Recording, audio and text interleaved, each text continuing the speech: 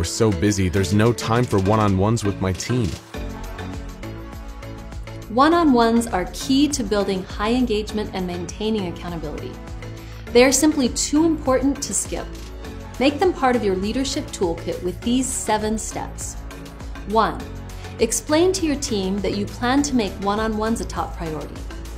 2. Create a cadence. Hold them every week or every month if you're on a tight schedule. 3. Schedule the next six months of one on ones in your calendar. 4. Ask each team member to prepare the agenda beforehand. 5. Never cancel. A canceled one on one signals to your team that they're not important.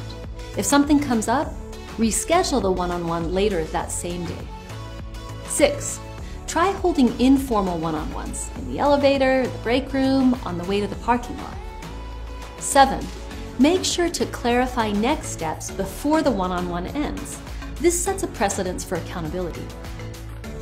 When you treat one on ones as sacred and conduct them effectively, you'll be surprised by how much they contribute to a high performing culture.